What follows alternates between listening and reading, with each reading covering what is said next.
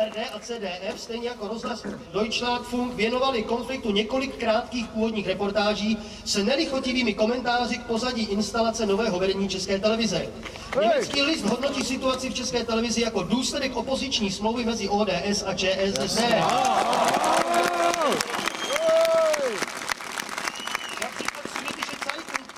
Že revolta pražských redaktorů dává nahlédnout do nitra české politiky.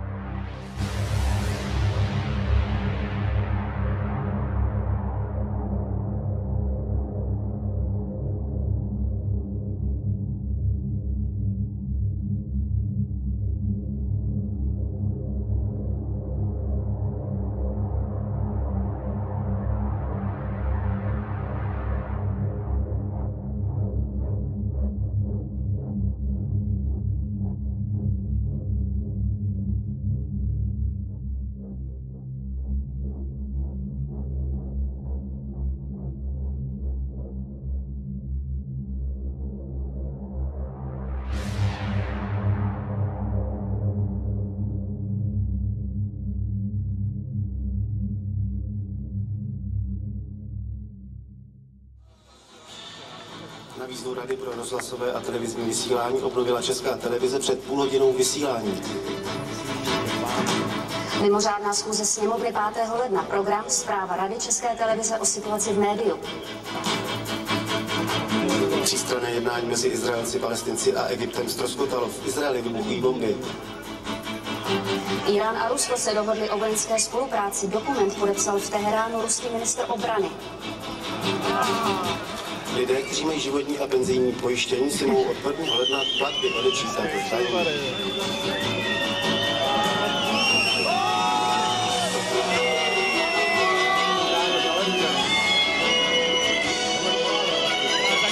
vidíte, to jde do celé republiky. 28. prosince vidíte-li nás ne. Stejně jako každý den za mnou můžete vidět zaměstnance v České televize. že došlo k porušení zákona tím, že vedení nemělo v posledních dnech plnou kontrolu nad vysíláním. Kritizuje i nevyvážené zpravodajství, které podle ní dávalo příliš prostoru skupině zaměstnanců České televize, kteří nesouhlasí s novým vedením. Krizová situace se dále vystupňovala skutečností, že v ní vysílání dvě velice spravodajské zničit pouze verzi kontrolovanou vedením České televize lze považovat za legální. Ještě před hlasováním rezignoval člen rady Stanislav Milota. Podle něj měla rada jasněji formulovat svůj názor a jít třeba i na rámec zákona, aby sněmovna měla argumenty. že i takováhle rada se nesková za nedostatečný zákon a zkrátka ho poruší a vyzve pana Hodače, protože on vlastně dokázal neschopnost svojí vlastní, vlastně tím, co všechno vidíte včera vlastně úplně vypnutím televize. Rozhodnutí rady mělo být čitelnější, přidal se radní Arnošt Wagner, který jako jediný hlasoval proti. měla žádat, aby eh, vedení televize odstoupilo, aby rada malá odstoupila, měla doporučit to nežádat. Dnešního zasedání rady se zúčastnil na zhruba půl hodiny i Jiří Hodač, zvolený radou České televize generálním ředitelem ČT. Ani před, ani po návštěvě rady neodpovídal konkrétně na otázky novinářů. Zatím, zatím jsme nehovořili vlastně O situaci v ČT má 5. ledna jednat poslanecká sněmovna a dva dny před ní Senát parlamentu České republiky. Předseda poslanecké sněmovny Václav Klaus dnes zvolal na 5. ledna mimořádnou schůzi, jak už jste slyšeli. Jediným bodem bude zpráva Rady České televize o situaci v tomto veřejnoprávním médiu. Od včerejšího večera do dnešního do tři čtvrtě na sedm nemohla většina lidí sledovat první ani druhý program České televize. O odpojení vysílání rozhodl Jiří Hodač, kterého Rada České televize jmenovala minulý týden generálním ředitelem. Podle finančního ředitele Ladislava Palusky stál tento hodačův zásah Českou televizi od včerejška 10 milionů korun. Pokud televize co nejdříve nezačne vysílat, hrozí jen na reklamách další ztráty desítek milionů. Náhradu za nákup reklamních časů na losování svých her v komerční televizi chce požadovat například Saska.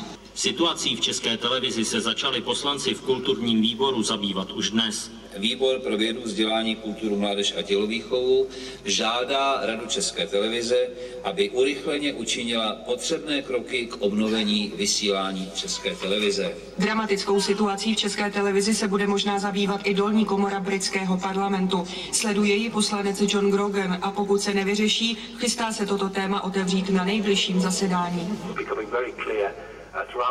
Myslím, že celé Evropské unii je už jasné, že novináři z České televize mají velkou podporu veřejnosti. Velkou váhu mají i včerejší slova prezidenta Havla. To všechno přesvědčuje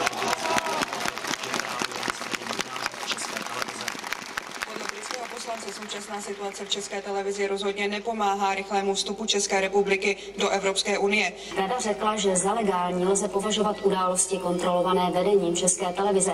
Zároveň řekla, že vedení televize vysílání nekontroluje a porušuje tak zákon. Představitelé občanské iniciativy Česká televize Věc veřejná pokračují v protestech proti způsobu jmenování ředitele televize Jiřího Hodače a jeho metodám, které včera večer vyústily v úplné přerušení vysílání České televize. Na 3. ledna proto připravují protestní shromáždění na Václavském náměstí. Stále eh, trváme na tom, že dokud se nezmění zákon, nehodláme skončit a podporujeme všechny, kdo vlastně statečně se trvávají eh, v tom odporu vůči eh, novému normalizačnímu vedení. Pražské divadlo Ta Fantastika naopak připravilo petici, v níž vyjadřuje podporu současnému vedení České televize. A podle jednoho z organizátorů výkonného Hirše ji do dnešního dne podepsalo téměř tisíc lidí. Malý zájem prý zatím ale zbudila u herců divadla.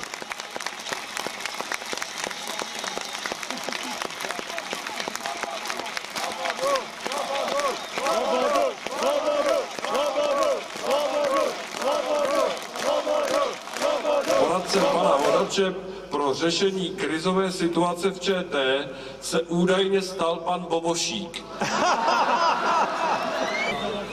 Tolik zprávy, tady, co mám na papíře. A teďka pozveme prvního hosta, nebo už dalšího hosta, a to je scenárista Petr Jarchovský.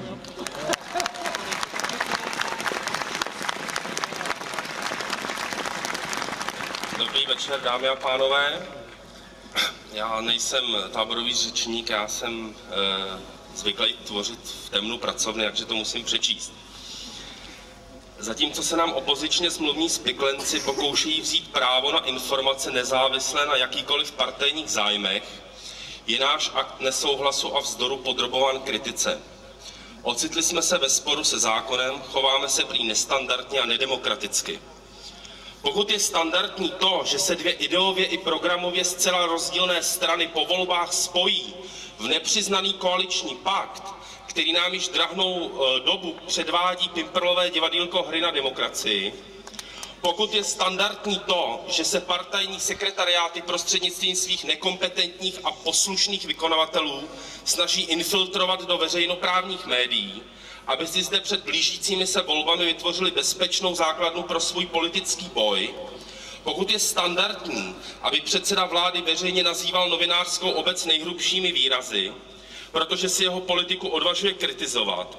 A pokud předseda parlamentu bohorovně veřejné mínění nazývá křiklounstvím, pokud projev občanského protestu přirovnává bez rozpaků k metodám komunistických pučistů z roku 48, a pokud je standardní vzájemné politické krytí za v mnoha milionových podvodech, které nemá nikdo zájem veřejnosti rozkrýt a osvětlit, a pokud je standardní to, že se za deset let fungování demokracie nenalezla politická vůle potrestat politické zločince z let minulých, a pokud je toto všechno považováno za standardní a přípustné, pak pro sebe volím postoj nestandardní.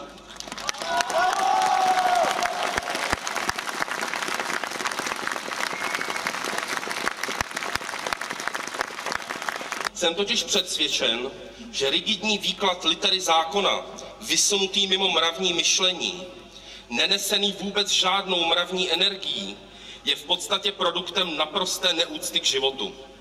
A neseli psaný zákon otrávené plody, je naším úkolem apelovat na jeho změnu. Situace, v níž se naše veřejnoprávní médium číslo jedna ocitlo, je totiž pouze výsledkem dlouhodobého procesu velmi nestandardních postupů v řízení věcí veřejných v naší zemi a tak je tuto situaci nutno chápat jako přetečení příslovečného poháru trpělivosti. Jsem hrdý na ty, kteří dali v sásku svoji existenci a našli odvahu těmto nebezpečným tendencím vzdorovat.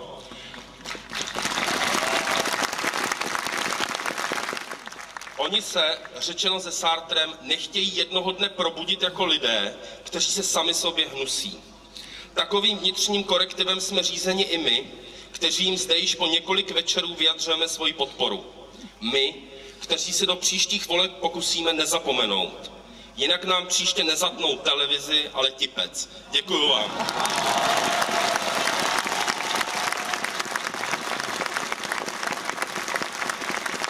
public stanice podporované z veřejných zdrojů a jednotlivými posluchači všude existují. Vaši Zdena Salivarová a Josef Škorecký.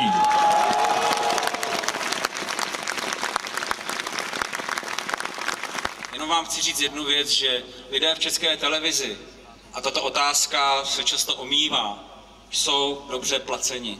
Já jsem jako jeden z mála producentů pracoval pro televizi Nova, pro televizi Prima i pro českou televizi.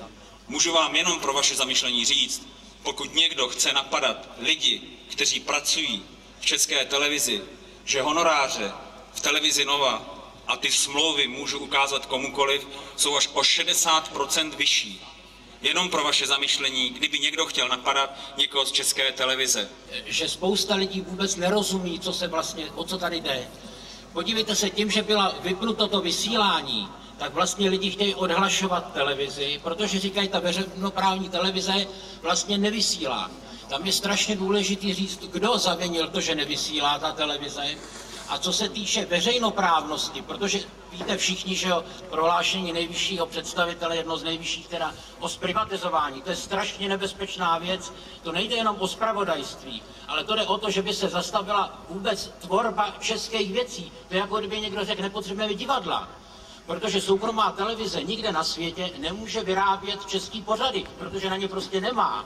Samozřejmě, že může dělat talk show, může dělat nejrůznější estrády, ale žádná televize soukromá si nemůže dovolit zaplatit výrobu českých věcí, to znamená, nemuseli by být pelíšky, nemuselo být spousta filmů a televizních pořadů. Já si myslím, že ta, to, že se nevysílá, možná se časem ukáže, že lidi budou tak naštvaný, že nebudou chtít tu českou televizi vlastně. Já si myslím, že to nahrává těm, kteří uvažují o tom zprivatizování a v důsledku toho podle mýho vytunelování české televize. Děkuji. Já bych ještě k tomu doplnil jednu věc, kterou bychom si měli uvědomit všichni. teď je to o, o privatizování české televize. Zítra to bude o privatizaci Národního divadla, pozítří o privatizaci policie České republiky a potom o privatizaci parlamentu, ale ten už je možná privatizovaný.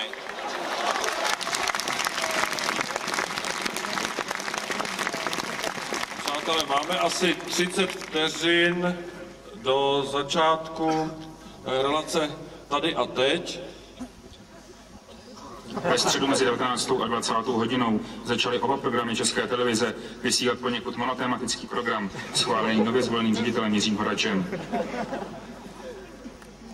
Než drtivá většina českých domácností přišla o sváteční program, televizní diváci jsou zmatení. Když se zapnou televizi, místo programu ČT se objeví pouze bílý nápis na černém podkladu. Teď tento pořad mohou sledovat pouze diváci, kteří mají příjem ze satelitu nebo z kabelu, nebo jsou na demonstracích před budovami České televize v Ostravě, Brně a v Praze. Podle mě už je to docela dlouhá doba. Eh, Řekla bych, že to je dost ostuda velká, protože televize podle mě je médium, které ovlivňuje názory spousty lidí a hodně lidí na ní kouká, zvlášť teda na českou televizi. jsem Marot, takže dost vysedávám doma a vidím černou obrazovku. Pořád stejný obrázek. Vadí mi, že už si pan ředitel Hodač neodváží pustit ani Bolkovi na sportovní zprávy. Snad z obavy, že by pan Bolívka nebo některý z našich olympioniků mohl vyjádřit názor, který se mu nelíbí. To je cenzura, kterou si pamatuju, což pamatuju hodně z doby komunistického režimu. Vyjasnit, kdo porušil a porušuje zákony České republiky, je velmi komplikované. Odborníci na mediální právo sice mají na spor o ČT své názory, ale podle nich je spor už mimo rámec české legislativy. Paní Chloupková, eh, myslíte si, že v této chvíli je eh, spor ještě v rovině eh, právních záležitostí, nebo už se přesouvá někam jinam? Já si, já si myslím v tuto chvíli, že situace je natolik vyhrocená, že ji již nelze řešit e, standardními právními prostředky, už je v té rovině. Není férový vůči koncesionářským poplatníkům, ale zase stojím za všema těma protestantama v tom studiu. Já si myslím, že tohle tohle není v pořádku. Myslím, že pan, pan Hodač by tohle asi, asi měl vyřešit nějakým jiným způsobem, než přerušit vysílání.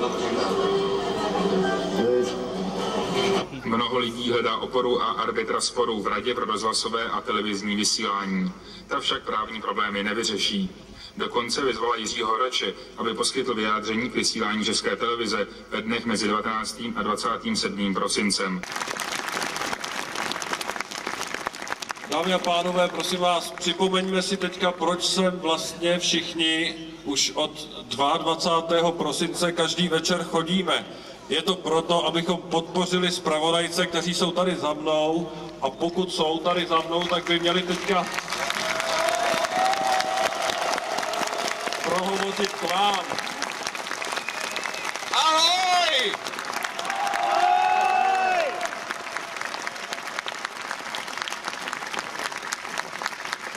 Současně mám takovou jednu zprávu, která mě dnes vlastně nejvíc rozlítila. Kulturní výbor sněmovny, eh, který si pozval k slyšení pana Jiřího Hodače, odhlasoval spojenými hlasy KSČM, ODS a jedním hlasem eh, pana Kučery za sociální demokracii to, že nevyslechne druhou stranu, to znamená iniciativu Česká televize bez veřejná.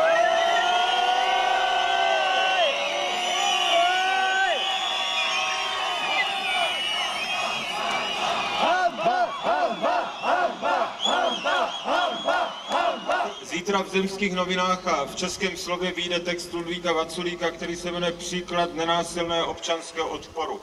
Já s jeho svolením vám přečtu pár vět a e, myslím si, že je velmi důležité, aby jsme si je zapamatovali. Tento případ je výhodný i tím, že ho můžeme veřejně sledovat. Nedá se utišit a rozpustit tím, že lidé vyhnaní zbran úřadu či fabriky se rozejdou domů a už nejsou vidět. Pracovníci televize vlastně veřejně modelují příklad nenásilného občanského odporu proti pyšné moci. Kdo z politiků říká, že by ten odpor měl být mocí umlčen, ten je zastáncem udupanosti národa. Pamatujme si ho. Děkuji.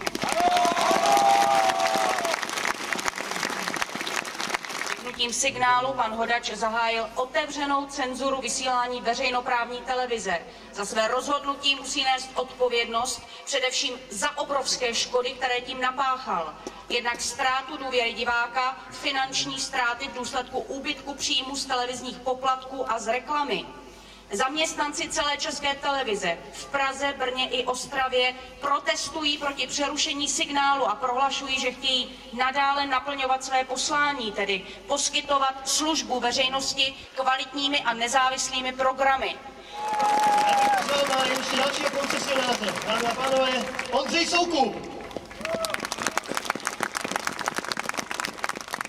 Dobrý večer.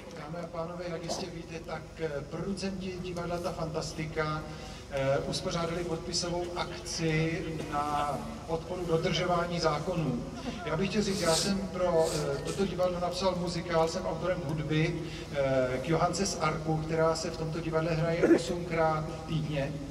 A já bych jenom chtěl říct, že mám trošku jiný názor než moji kolegové a chtěl bych podpořit všechny stávkující redaktory, eh, poprosit pana Hodače, aby, aby odstoupil samozřejmě a aby byl změněn televizní zákon. Děkuji. Přátelé, mám na srdci jenom tři věci. Vytýkají nám, že různí politici nám vyjadřují solidaritu, že se tu i zúčastňují a že tedy i naše kauza je z naší strany spolitizovaná.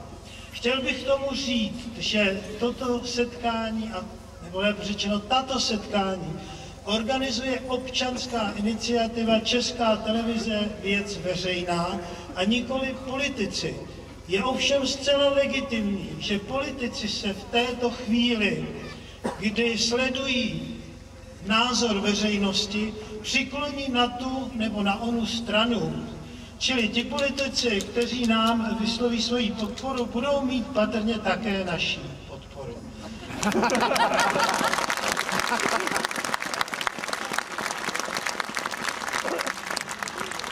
Druhou věcí, kterou mám na srdci. Včera jsem slyšel paní Bobošíkovou, která nám prozradila, že tu cenzuru na těch vysílačích vlastně zařídil ministr dopravy a spojů, který má nad nimi kompetenci. Rád bych se zeptal naší vlády teda, kde ten ministr, jejíž teda je minister členem, jak si dovoluje česká vláda cenzurovat českou televizi.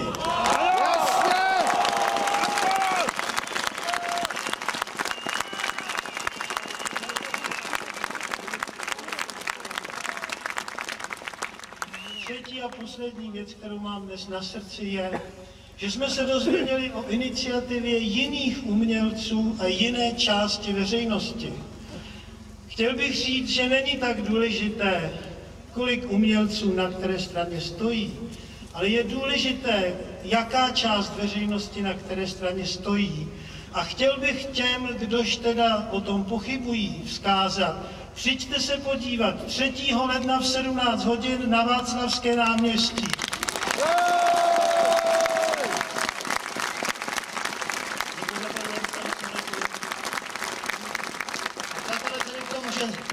Zaměstnanci České televize jsou zděšeni tím, jak Jiří Hodač živě interpretoval včerejší usnesení Rady pro rozhlasové a televizní vysílání ve svůj prospěch. Včera předseda Rady pro rozhlasové a televizní vysílání Martin Muchka v pořadu 21 jasně řekl, že Rada zatím nerozhodla, které zpravodajství je legální, zda zpravodajství protestujících zaměstnanců nebo Jiří Hodače a Jany Bobošíkové. Rada pouze konstatovala, že legální je to zpravodajství, které je pod kontrolou vedení. Odmítl ale termín nové vedení. Vedení není podle předsedy rady jen generální ředitel, ale i kolegium. Většina členů kolegia se přitom postavila proti Jiřímu Hodačovi a Janě Bobošíkové. Na základě těchto lživých interpretací pan Hodač nyní vyjednává s policií a snaží se zaměstnance ČT kriminalizovat. Pokud dnes je, Pokud dnes Jiří Hodač odstřihuje zpravodajství, porušuje zákon, protože mu rada jasně nařídila, aby obnovil vysílání v plném rozsahu. Jiří Hodač a Jana Bobošíková provádějí dnes už normální cenzuru. Jiří Hodač, Jiří Hodač a Jana Bobošíková porušují podle právníků nejvyšší zákon této země, ústavu a listinu základních práv a svobod. Sociální demokracie ODS, Unie svobody a KDU ČSL se neschodli na politickém řešení krize v české televizi. Jejich dnešní schůzka trvala zhruba čtyři hodiny. Přerušila jí přestávka na oběd a konzultace. Schůzku svolal předseda sněmovny AODS Václav Klaus. Nicméně musím s lítostí konstatovat, že můj zá- záměr, který jsem si o této schůzky sliboval, se nezdařil. A myslím, a to považuji za pozitivní, že jsme se všichni shodli, že součástí jakékoliv výzvy eh, má být výzva k odstoupení generálního ředitele Hodače. Bez odchodu generálního ředitele je ta situace neřešitelná. Předsedové ODS a ČSSD ale zároveň prosazovali, aby součástí prohlášení byla i výzva k odchodu části státních zaměstnanců. Václav Klaus navrhl, aby se buď zaměstnanci s Jiřím Hodačem dohodli, nebo aby odešly obě strany. Žádné jiné řešení jsem nepovažoval za možné a i toto lidovců.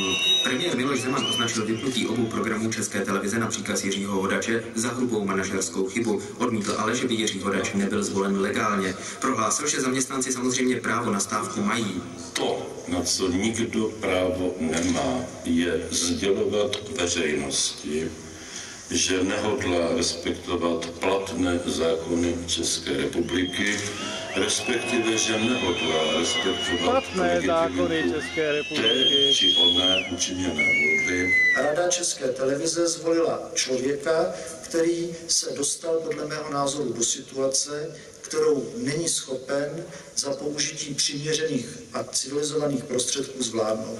Proto si myslím, že je správné, aby odstoupil. Premiér Zeman také upozornil, že vláda zítra projedná návrh nového zákona o české televizi a zároveň zřejmě požádá sněmovnu o vyhlášení stavu legislativní nouze. Předloha by se tak mohla projednat už během 14 dnů až 3 týdnů. Prezident Václav Havel ve svém novoročním projevu mluvil mimo jiné o respektu vůči psaným i nepsaným zákonům. Můžete prosím uvést případ některého nepsaného, respektovaného zákona u nás? No, no nejen u nás třeba, když někdo bije slabšího, tak se ho zastanu, nebo když přijde stará paní do tramvaje, tak ji pustím sednout, ale když je ještě starší než já. A vy jste tady stál před budovou České televize 26. července. Připomeňme si, co jste tehdy říkal. kteří do té vzpůry šli, věděli, že můžou přijít o místa a o ty peníze. A to je právě jenom krásný, že tahle zdánlivě pragmatická mladá generace se zachovala tak, jak se zachovala odpoledne už Jana Bogušíková. Tohle to jste tedy říkal 26. prosince, dnes, dnes, dnes byste to zopakoval. No, dnes bych to řekl ještě s větší jistotou. Jsem hrozně rád, že vydrželi a nevyfárali. Prezident Václav Havel mluvil také o rozporu ve výkladu litery a duchu zákona. Co myslíte, eh, v demokratickém státě mohou se občané vzepřít zákonu? Eh, My jsme se dostali do tak choulostivé situace, že to vypadá, jako bychom my, co nosíme ty stužky, nechtěli dodržovat zákony, ale když se podíváte před televizi, co tam je za lidi, tak víte, že jsou to většinou slušní lidi, kteří chtějí zákony dodržovat. Já se domnívám, že celá ta šlamastika nevznikla tím, že by někdo nechtěl dodržovat zákony. Já se domnívám, že ti kluci a holky, co tady eh, jsou zavření, se vzepřeli proti, z, proti výsledku zneužití zákona. Tohle je poslanecká sněmovna parlamentu České republiky. Ta volí Radu České televize. R, Č, T. Ta volí generálního ředitele. GŘ. A to všechno podle zákona. Tady to je všechno podle zákona, který ale říká, tohle je ČT. A tady to, to jsme my. Diváci. No, my občané. Ano. Ten zákon říká, eh, že do té rady, která volí generálního ředitele, musí být zvoleni lidé, kteří nebudou prosazovat své stranické zájmy. Ale přitom si je tam ty strany navolí, eh, sociální demokracie tam dá čtyři kusy, ODS tři kusy a tak dále. A někteří z nich jsou i členy těch stran, čili mají povinnost eh, zájmy té své strany hájit. Mají to přímo ve stanovách. Čili tady je ten zakopaný pes, tady byl ten zákon eh, chytře eh, porušen. A tím došlo k tomu, že si ty strany, ti, ti, ti reprezentanti zvolili generálního ředitele a způsob té volby byl tak nešikovný, tak eh, zbrkle se to upeklo, že to každému, nejen nám, kteří tu máme blízko, bylo podezřelý. Protože proč je třeba před Vánoci zvolit honem eh, nového ředitele? Eh, proč je třeba odvolat starého po 11 měsících, když ta televize je běh na dlouhou trať, on nemůže ukázat za rok, co dovede. Vždyť on ten rok ještě vysílá pořady předchozího ředitele a některý, za který se stydí. Já myslím, že víme za který. Čili on to musí dojet, aby se nepřišlo o ty peníze. Však on a, je taky pomalu rušil. No a dneska, kdy začíná platit jeho schéma, už tady není. Čili zaměstnanci televize jsou jako pokusní králici, kteří vždycky něco se snaží rozjet a bum, do toho přijde nový ředitel. Tady to bylo tak podezřelý, že není divu, že právě kus té televize, to je zpravodajství, kteří mají s těmi politiky největší zkušenost. Oni jsou jejich materiálem, ti politici. Ano. Ti to první rozpoznali, že se tady něco nekalého děje. Takže teď už jsme si řekli, že politikům jde o vliv docela jistě, ale také se říká, že zaměstnancům televize i spolupracovníkům České televize, že jde o peníze, protože se tak vehementně zasazují o tu takzvanou její nezávislost. Eh, podívejte se, každý populista, když chce získat e, lidi pro sebe, tak si myslí, že slyší na jediný že se mluví o penězích, že lidi o nic jiného nemají zájem. A to já vždycky podle toho poznám. Když řekne, eh, tady jde o peníze a tak dále, tak chce získat ty lidi a podceňuje je, protože eh, naši lidi, ne všichni, myslejí jenom na peníze. A ty, co tady jsou dole, tak eh, ty by o ně, možná, že o ně přijdou, co my víme, jak to dopadne. Ale já jsem děsně rád, že do toho šli, protože já jsem měl strach jak už jsem tady řekl, že to budou takový utilitární eh, kluci a holky, který skutečně se budou snažit, aby si udrželi to místo v té televizi. A jsem hrozně rád, že jim o to nejde. A kdo v tomhle sporu hájí zájmy koncesionářů neboli televizních diváků a jaké vlastně ty jejich zájmy jsou? To je tenhle ten obláček, který se jmenuje my. My tu takzvanou veřejnoprávní televizi máme proto, abychom mohli prostřednictvím obrazovky rentgenovat politiky, to znamená poslaneckou sněmovnu, vládu. Rentgenovat. Oni, sem, oni se mají chodit na snímkování ze štítu. A není možný, aby si některá strana zaručila, že jedny politiky budeme rentgenovat a druhý budeme jenom fotografovat. Jo? Že se jim nepodíváme na kosti dovnitř. Já si myslím, že tady se málo ví, že veřejnoprávní televize je šíleně důležitý nástroj demokracie, který má právě tu moc kontrolovat tyto politiky. A jestliže On oni dostanou tu televizi e, do pazouru, nebo jak bych to řekl, tak ta kontrolní funkce končí. Ta veřejnoprávní televize nemá pak smysl. A my si ji musíme uhájit. Ano. Pane Svěráku, co je to kvalita vysílání? No, eh, já zůstanu u těch spravodajských pořadů. To nemám ze sebe, to jsem se dočet od pana Čulíka, že ideální pracovník takového spravodajského vysílání by měl toho politika dostat do úzkých. To by měl být jeho, jeho cíl. On by měl být agresivní, ale ta agresivita nemá plynout z jeho drzosti, ale z jeho znalosti. Nevím, jestli tady ještě takového člověka máme, ale já myslím, že vyroste. Takový lidé musí vyrůst a my si musíme zvyknout, že ten politik bude eh, do té televize chodit skutečně se strachem. A každý, i ten, kdo tady s nima přespával. To bych chtěl zdůraznit. No, oni pak děkují ze strachem, tak oni pak radši nejdou.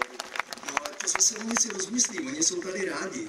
Oni jsou, rádi, oni jsou rádi vidění. Ovšem, je-li rozhlas čarodějka, tak televize je mocná čarodějka. Hmm. Zákon o české televizi je špatný, ale platí už od roku 91. Proč pak začal vadit až teď? Protože jsme si toho nevšimli. Eh, mně bylo divný, proč ředitel Chmelíček eh, pořádá eh, v kongresovém centru velikou konferenci na téma, tady to jsou materiály, Aha. televize veřejné služby, česká televize věc veřejná. A on chtěl pořád, aby se k tomu taky vyjádřil. Já jsem si myslel, že to je nějaké teoretizování, ať to vyřeší odborníci. My jsme se teď dostali do situace, že jsme si nevšimli nebezpečí, které v tom zákoně číhá a teď se tomu vzpíráme. Já si myslím, že musíme, když jsme si toho nevšimli. Hodně se mluví stále znovu o české televizi a o politicích a o tom, že někteří se až příliš v té věci veřejné namočili. Takže já se vás ptám, když je tak důležitá nezávislost české televize, budou spravodajští pracovníci neboli pracovníci redakce spravodajství jak si nebudou osočováni z toho, že nadržují třeba panu Rumlovi, který tady s nimi přespával, a nenadržují nebo jsou až příliš přísní na pana Klauze, který naopak nebyl s nimi? Oni musí dokázat, že jsou nekompromisní ke všem. Oni musí dokázat, že rozumějí, co to je veřejnoprávní televize. Dokážou to. Jinak byla ta spůra zbytečná. Co myslíte, dokážou to? No já jim věřím, no. A teď důležitá otázka.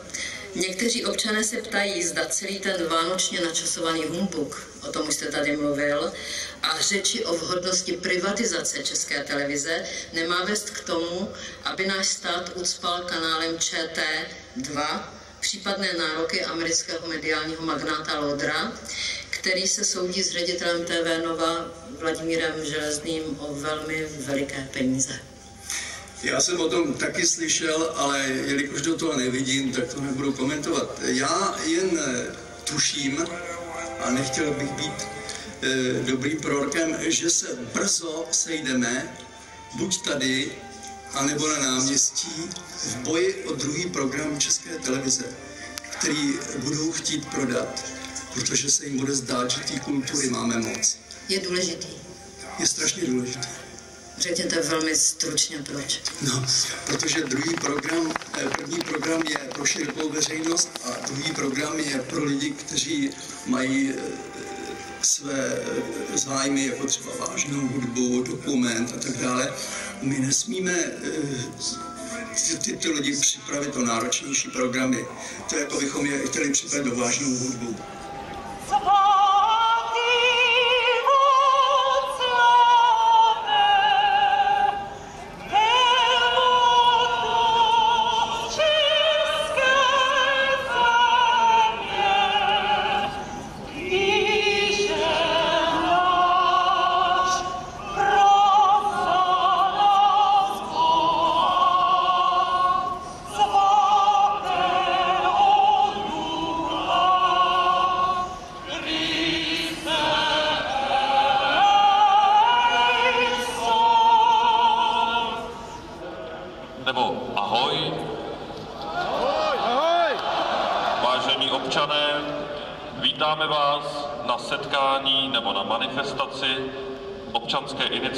Česká televize Věc veřejná.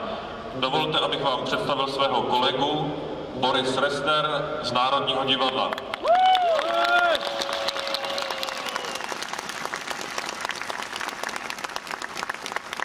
A já vám představuji svého kolegu Jirka Macháček z divadla Sklep. A dovolte nám, abychom vám společně představili zaměstnance zpravodajství České televize. Jolana Voldánová, Daniela Brtinová, Jiří Janeček a Iveta Touslová.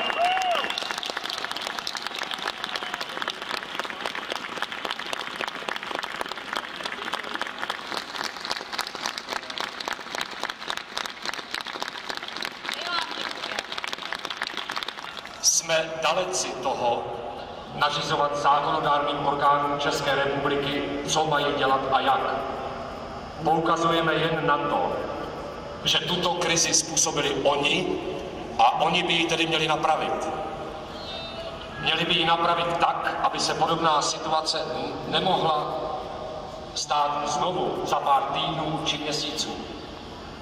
V posledních dnech zaznělo mnoho slov a informací o událostech posledních 14 dnů kolem České televize. Dvou týdnů vánočních svátků, které redaktoři zpravodajství strávili uzavření v budově, stovky a postupně tisíce občanů zvenčí jim denně vyjadřovali svou podporu, zatímco většina našich politiků tuto krizi sledovala bez přílišného vzrušení ze svých prázdninových letovisek.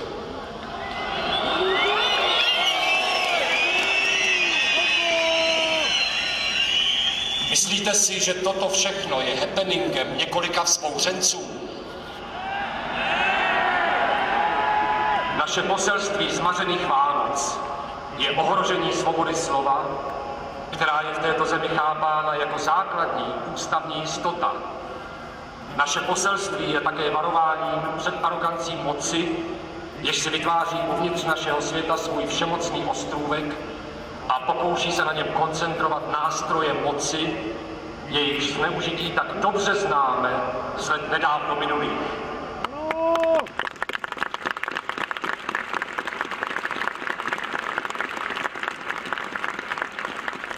Za českou televizi věc veřejnou přichází promluvit Jan Kraus.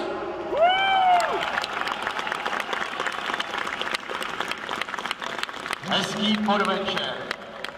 Já jsem čet, že nás je hrstka, tak vás, milá hrstko, hezky vítám.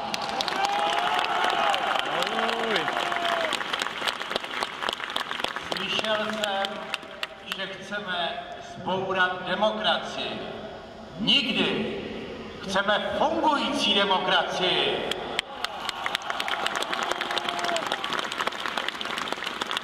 Už týden čtu a poslouchám, jak zpravodajci v České televizi celou věc spolitizovali tím, že si pozvali senátory a poslance. Já jsem tam byl, nejsem ani zpravodajec, ani senátor, ani poslanec a můžu vám říct, jak to bylo. Volali jsme o pomoc, protože se blížila policie, ochranka. Volali jsme všechny. A ti, kdo přišli, ty tam byli.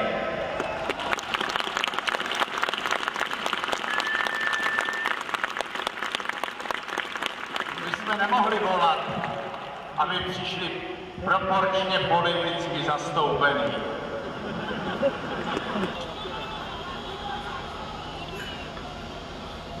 Ochrana televize před zákulisními vlivy je důležitá a vysoká hodnota.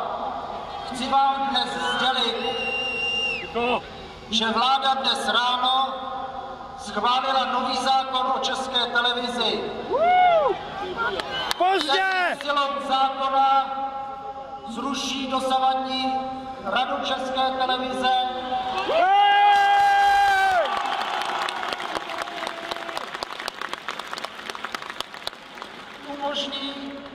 ní byli zvoleni důvěryhodní, svobodní lidé, A výslovně zakazuje politickou nominaci. Ano!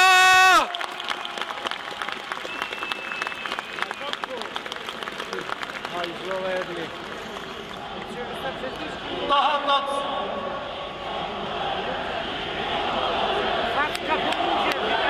Vždyť to bude! Vždyť to bude! Vždyť to bude! Vždyť to bude! Tohoto cíle je třeba dosáhnout rychle. Proto vláda předloží tento zákon ve stavu legislativní nouze, aby mohl být schválen v době mezi 5. a 12. dnem tohoto měsíce.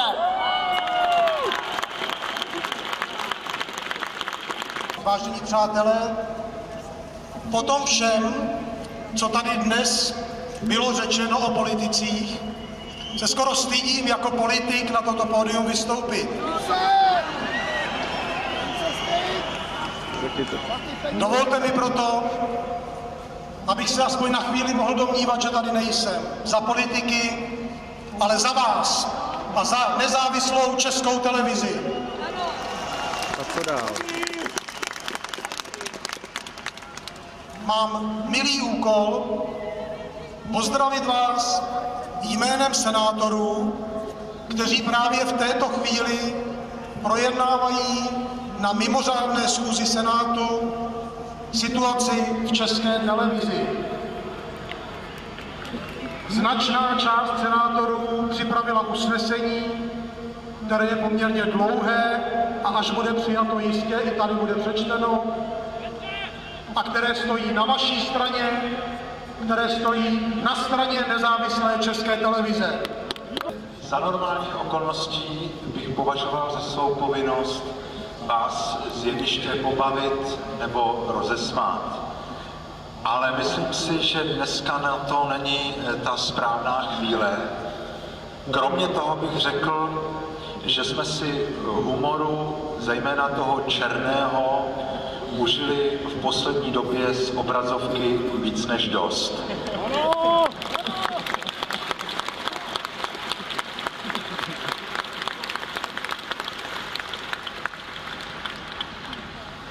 Ta situace se celou dobu předkládá jako střed těch, kteří svévolně porušují zákony s těmi, kteří je pečlivě a úzkostlivě dodržují. Já mám pocit, že je to mnohem spíš střed těch, kteří velice zručně pracují se špatnými zákony a těch, kteří měli odvahu se proti tomu ozvat.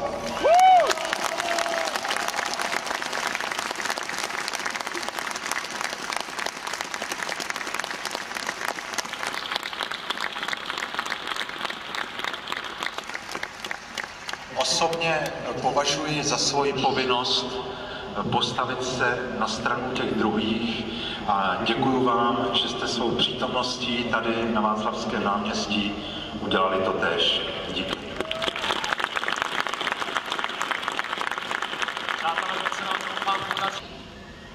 My komedianti máme dar, nebo chcete-li čuch, rozpoznat, když se na jevišti hraje falešně. Když herec nevěří tomu, co říká. A já se nemůžu zbavit pocitu, že přední herci na naší velké politické scéně nehrajou dobře a publikum by mělo pískat.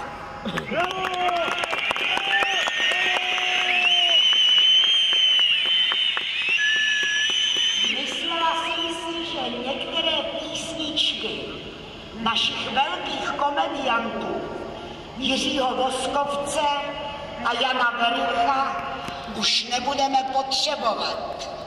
Ale není to tak. Dneska například potřebujeme tuhle. Více než sláva, víc než polní tráva, je občanská svoboda. Nikdy se nezdaří zavřít v žaláři, svoboda se nepoddá. Děkuji.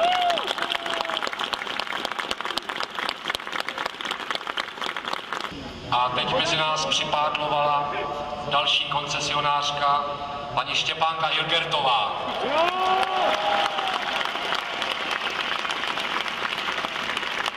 Dobrý večer.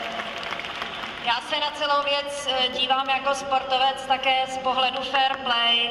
A fair play eh, to pro mě není jenom dodržování napsaných pravidel. Je to něco navíc, něco nad tím, je to vědomí správnosti, spravedlnosti, je to věc svědomí.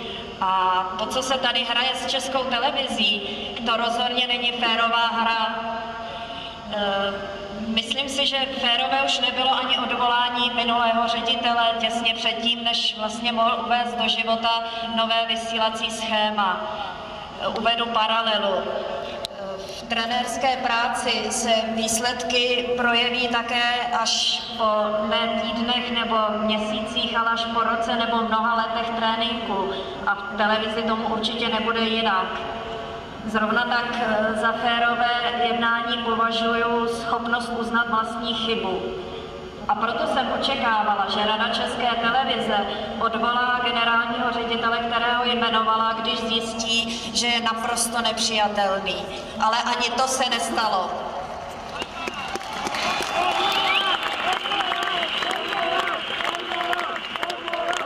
Chtěla bych říct, že stávkující pracovníky České televize považuji za dostatečně soudné, rozumné, kompetentní, zkušené a zodpovědné lidi, že jim věřím a že je v tom, co dělají, bezvýhradně podporuji. Děkuju.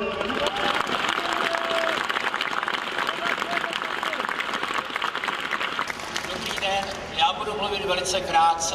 Chtěl jsem jenom, aby nezapadlo prohlášení, nápad pana Klauze, že by bylo nejlepší českou veřejnoprávní televizi zprivatizovat. Jdem na to!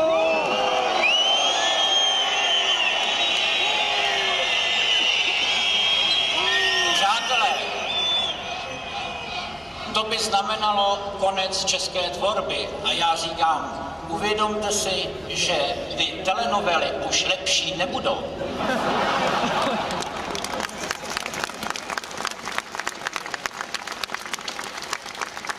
Jeden kanál je možná samozřejmě darovat eh, těm bývalým spojencům novy z Ameriky a druhý se může vytunelovat. Ale já jsem vám chtěl říct, že za těch 75 korun, za který platíte ten měsíc, já když natočím nějakou blbost, tak trvá asi hodinu a půl a celou vaši rodinu stojí korunu. Hlouposti jiných nás stály mnohem víc.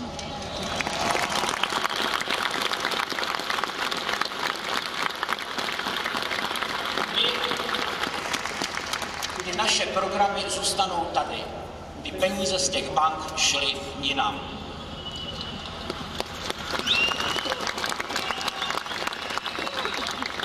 Prosím vás, my, když budeme točit televizi, točíme o životě, který je tady.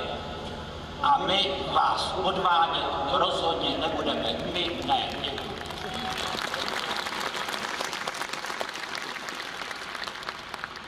To, co tady dnes děláme, je tlak veřejného mínění. Chceme, aby někteří námi zvolení politici pocítili, že je nás hodně, kteří si myslíme něco jiného než oni.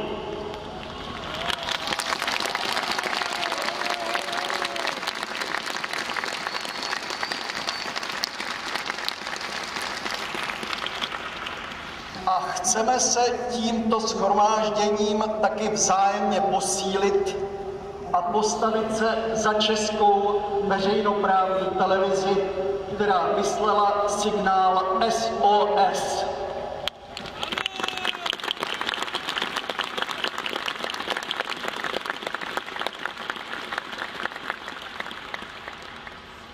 Za svého života jsem byl několikrát donucen jednat proti svému svědomí.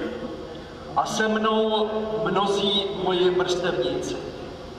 Jsem šťasten, že posádka, která se rozhodla neopustit televizní loď, je z generace mých dětí, z občanů, kteří jsou po deseti letech života ve svobodě už neoblomní.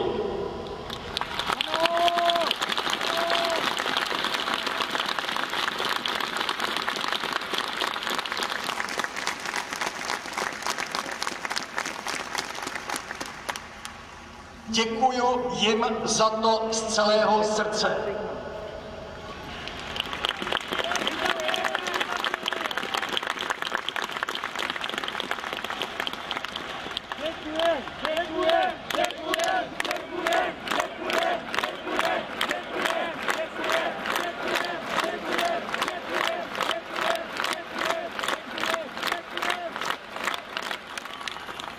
Buďte taky veselí. Je sice skoro půl šesté, ale není to soumrak. Je to ráno. Probudili jsme se z hnetečnosti. Dobré jitro, občané.